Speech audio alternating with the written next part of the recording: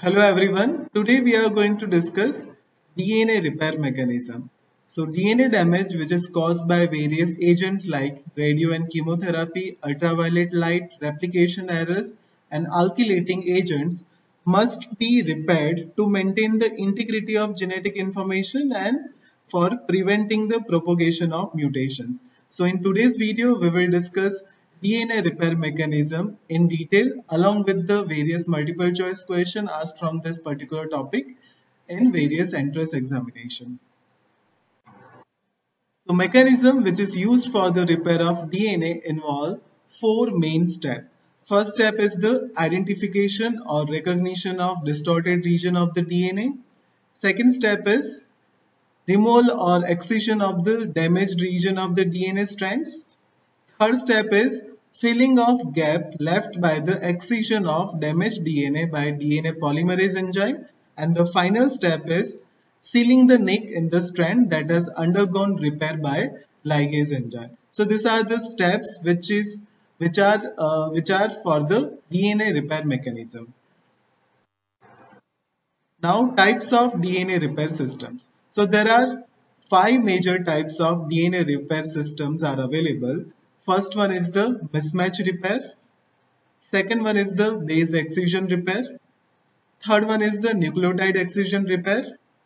Fourth one is the direct repair. The last one is the homologous recombination and non-homologous end joining repair. We will see each of this DNA repair system in the detail in the next few slides. So this is the table showing the DNA repair system along with the type of damage corrected by it. So mismatch repair will correct the mismatch and copying errors. Base excision repair will correct the abnormal bases like uracil, hypoxanthine and xanthine. It will also remove pyrimidine dimers and alkylated bases. Nucleotide excision repair will remove the pyrimidine dimers which occurs due to the chemotherapy, radiotherapy or spontaneously. Direct repair will correct the pyrimidine dimers and homologous recombination and non-homologous end joining repair will correct the DNA double strand breaks. So this is the picture showing the types of DNA damage and types of DNA repair mechanism. So if there is a DNA damage which is done by the radio and chemotherapy then it will be corrected by the double strand break repair. If the DNA damage is done by ultraviolet light then it will be corrected by the nucleotide excision repair. If the damage is done by the replication errors then it will be corrected by the single strand base excision repair and if the damage is done by alkylating agents then it will be corrected by the mismatch repair. So this particular slide is very very important because lots of multiple choice question is asked from this particular slide. So first we will see the mismatch repair in the detail. This is the picture showing the mismatch repair. So the first step in the mismatch repair is addition of methyl group in the template or old strand by DAM methylase enzyme. This DAM methylase enzyme will methylates DNA at the N6 position of all adenine that occur within the 5' GATC sequence. So there will be the addition of methyl group at the N6 position of adenine which is occur within the 5' GATC sequence. So that is the first step. Second step is recognition of mismatch.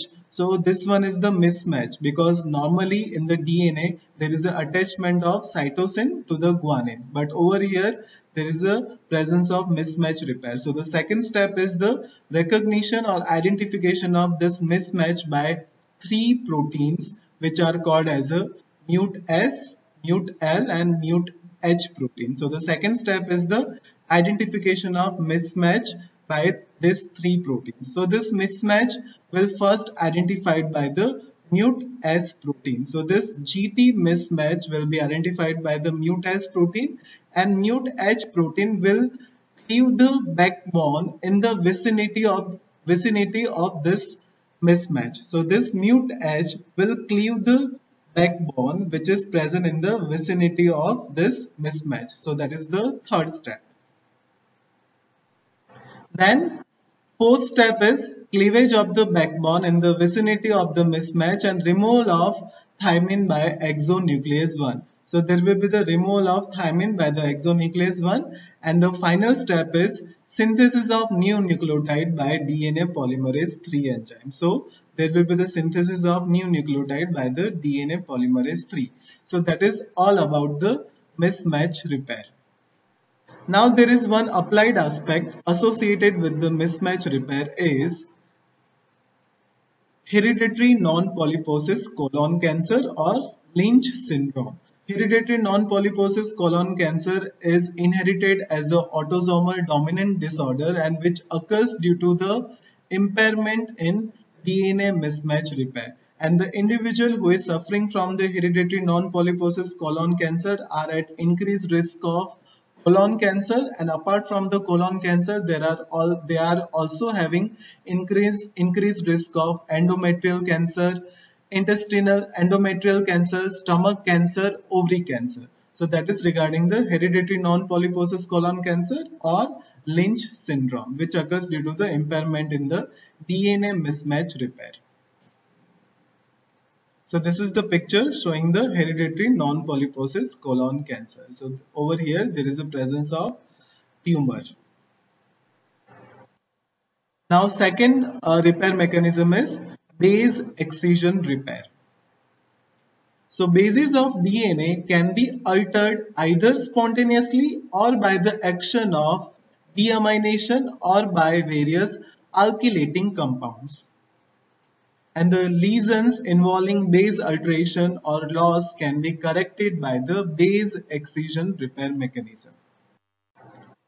So this is the picture showing the base excision repair mechanism. So all the cells contain one special group of enzymes which are called as a DNA glycosylase enzyme. So this DNA glycosylase enzyme will remove the uh, common DNA lesions like cytosine or uh, they will remove the deamination of cytosine or adenine which is formed by the deamination. So there will be the removal of deamination of cytosine or adenine by this DNA glycosylase enzyme by cleaving the N-glycosyl bond. So this DNA glycosylase enzyme will remove the deamination of cytosine or adenine by cleaving the N-glycosyl bond and once there is a removal of that particular base then it will lead to the one particular site if there is a removal of purine then it will lead to the creation of apurinic sites that is the site which is devoid of adenine or guanine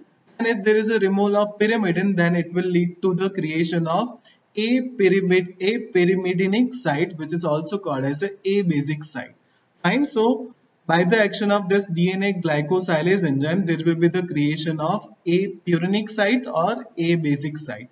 Now, if there is a presence of uracil which occurs due to the which is uh, which is synthesized due to the deamination of cytosine, then this uracil will be cleaved by one particular group of enzyme which is called as a uracil DNA glycosylase enzyme. So this uracil DNA glycosylase enzyme will remove this uracil and there will be the creation of apurinic site over here because there is a removal of purine. So there is a creation of apurinic site.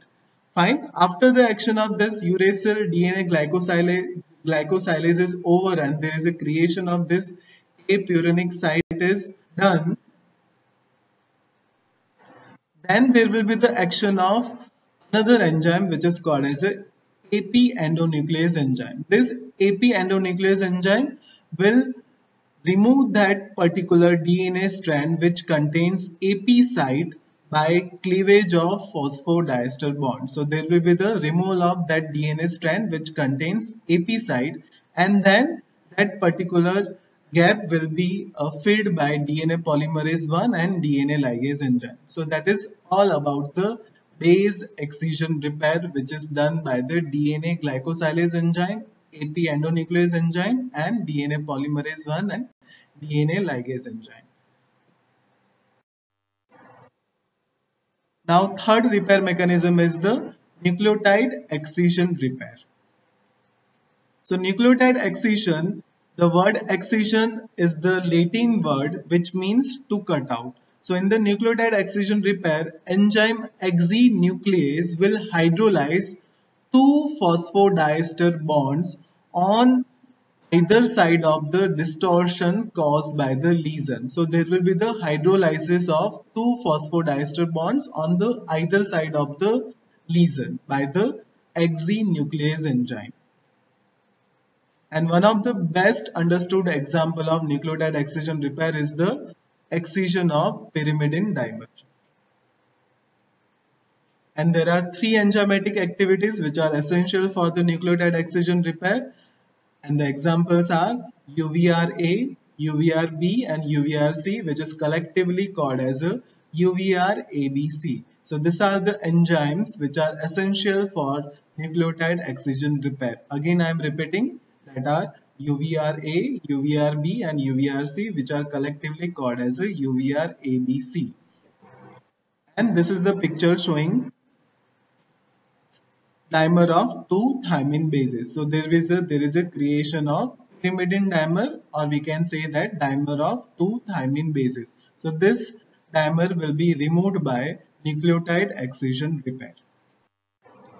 So this is the picture showing the mechanism of uh, nucleotide excision repair. As we have discussed, there is a hydrolysis of two phosphodiester bond on the either side of the lesion. So there is a presence of DNA lesion due to the thymine dimer. Now exonuclease will cleave 12 nucleotide fragment by UVR ABC enzyme. So there will be there will be the excision of 12 nucleotide fragment by UVR ABC exonuclease enzyme. There will be the removal of 8 nucleotide uh, away from the 5 prime side and there will be the removal of 4 nucleotide away from the 3 prime side. So in total there will be the excision of 12 nucleotides. So there will be the removal of a nucleotide fragment by UVR ABC exonuclease enzyme. Then DNA synthesis will be done by the DNA polymerase 1 enzyme and the joining will be done by the DNA ligase. So this is the picture showing the mechanism of action of nucleotide excision repair. Mind well, there is a removal of two phosphodiester bond on the either side of the lesion and the enzymes are UVR ABC exonuclease enzyme. Now there is a one applied aspect associated with the nucleotide excision repair is which is called as a xeroderma pigmentosum. Xeroderma pigmentosum is a rare autosomal recessive disease and it is now recognized that xeroderma pigmentosum is occurring due to the defect in the nucleotide excision repair of the damaged DNA and the affected patients are photosensitive and they are also susceptible for the skin cancers. The reduced ability to repair DNA leads to somatic mutations and some of which result in the malignant transformation. So this is the picture showing the patients of xeroderma pigmentosum. As uh, I have already mentioned, there is a increased photosensitivity and they are also vulnerable for the skin cancers. So this is the picture showing the patients of xeroderma pigmentosum. Another syndrome which is associated with the nucleotide uh, defect in the nucleotide excision uh, repair is Cockayne syndrome. So it is associated with the nucleotide excision repair. And the individuals with Cockayne syndrome are hypersensitive sensitive to ultraviolet radiation and they exhibit stunted growth, neurological dysfunction and premature aging. So that is about the Cockayne syndrome which occurs due to the defect in nucleotide excision repair. So the first one was the xeroderma pigmentosum and the second one is the Cockayne syndrome which occurs due to the defect in nucleotide excision repair. Now another uh, repair mechanism is the direct repair pathway. So as the name suggests it is a direct repair pathway means it doesn't involve any removal of base or nucleotide.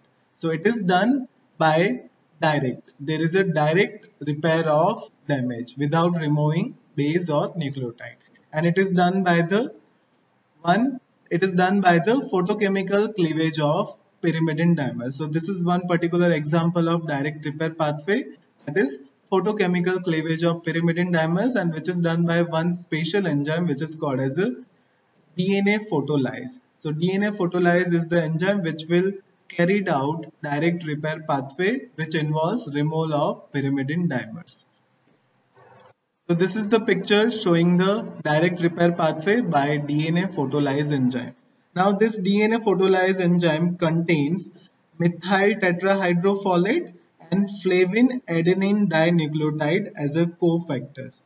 So this DNA photolyase enzyme will bind to the damaged portion of the DNA and this enzyme will get excited by the light energy absorbed by the methyl tetrahydrofolate and then excited enzyme will correct the will correct the uh, will remove the defected uh, DNA and then it will correct the uh, correct the damage and there will be the presence of original DNA base. Fine so it will remove the pyramid uh, it will remove the dimer. Fine and there will be the original original DNA base will be present one particular thing you have to remember that it contains methyl tetrahydrofolate and FAD as a cofactor. And once uh, this enzyme will get bind to the lesion then methyl tetrahydrofolate will absorb the light energy and then this particular enzyme will get ex, uh, get excited. Then it will remove the uh, dimers and then it will correct the that particular defect. So this is the picture showing the mechanism of action of DNA photolyase enzyme which, which is important for the direct repair pathway. Now last DNA repair mechanism is homologous recombination and non-homologous end joining repair. The repair mechanism used to repair DNA double strand breaks in eukaryotic cells. So these are the two mechanisms which is available for the repairing of DNA double strand breaks. And the choice between two that is homologous recombination and non-homologous end joining repair will be depend on the phase of the cell cycle. So the choice between these two mechanism will be depend on the phase of the cell cycle. If the cell is present in the G0 or G1 phase of the cell cycle, then DNA double strand break breaks are corrected by the non-homologous end joining repair and whereas during S, G2 and M phase of the cell cycle, homologous recombination is utilized. So this one particular is important during the G0 or G1 phase of the cell, cell cycle, DNA double strand breaks will be corrected by the non-homologous end joining repair and during the S, G2 and M phase of the cell cycle, homologous recombination will be utilized. So first we will see the homologous recombination. So as the name suggests in the homologous recombination there will be the utilization of information which is available in the unaffected homologous chromosome. So this type of repair takes the advantage of the sequence information which is available, available from the unaffected homologous chromosome for the proper repair of breaks. And two proteins are uh, very much required for the homologous recombination and uh, these two proteins are BRCA1 and BRCA2. If there is a, any mutation in the genes which are synthesizing this BRCA1 and BRCA2 proteins then it will lead to the breast cancer. Fanconi's anemia is a condition which, which is caused by the failure in the DNA recombination repair enzymes to correct the defects by the homologous recombination. So that is another applied aspect associated if there is a defect in the homologous recombination. First one is there is first one there is an increased chances of breast cancer and second one is the Fanconi's anemia. So that is about the homologous recombination. Remember, for the homologous recombination, we require information available in the unaffected homologous chromosome. And now, non-homologous end joining. So this process permits the joining of ends even if there is no sequence similarity between them and it is a error prone since it can also introduce mutations during repair. So that is regarding the non-homologous end joining. And any defect in non-homologous end joining will lead to the severe combined immunodeficiency which is also called as a SCID. So if there is any defect in non-homologous end joining then it will lead to the severe combined immunodeficiency. And for the homologous end joining we don't require homologous chromosome. So this is the picture showing the two type of double strand break repair. One is the homologous recombination and another is the end joining repair. So DNA damage, there is a presence of double strand break repair which gets corrected by the homologous recombination and end joining and this uh, choice between these two will be depend on the phase of the cell cycle. Now there is a one applied aspect associated with, associated with double strand break repair which is called as a ataxia telangiectasia. Fine, so that is associated with the double strand break repair. So it occurs as a consequences of mutation in the gene which is called as a ATM gene which is called as a ataxia telangiectasia mutated gene which codes for one enzyme that is protein kinase which plays important role in the cell cycle control, apoptosis that is programmed cell death and DNA double strand break repair. So this is the picture showing the patient suffering from the ataxia telangiectasia. There is a presence of telangiectasia, neurodegeneration, there is a presence of immune defect, patient is also prone for lymphoreticular neoplasm, there is also presence of sterility. So that is all about the ataxia telangiectasia. Now we will see multiple choice question asked from this particular topic. So first question is severe combined immunodeficiency is due to defect in and it was asked in AIIMS November 2017. The options are non-homologous end joining, homologous recombination, mismatch repair and nucleotide excision repair. So in the discussion part, we have already seen that severe combined immunodeficiency is occurring due to the non-homologous end joining. Right? So that is regarding the non-homologous end joining. While uh, if there is a defect in the homologous recombination, then it leads to the increased risk of breast cancer as well as Fanconi's anemia. Second question which was asked in a PGI December 2005. UV light damage to the DNA leads to formation of pyrimidine dimers, no damage to DNA, DNA hydrolysis and double-stranded breaks. So the answer is formation of pyrimidine dimers. UV light damage leads to the formation of pyrimidine dimers and this pyrimidine dimers that is about the uh, formation of pyrimidine dimers which occurs due to the UV light. Excessive ultraviolet radiation is harmful to life. The damage caused to the biological system by ultraviolet radiation and the answer and the question was asked in a AIIMS May 2004 and the options are inhibition of DNA synthesis, formation of thymidine dimers, C ionization and DNA fragmentation. So we have already discussed that it occurs due to the formation of thymidine dimers.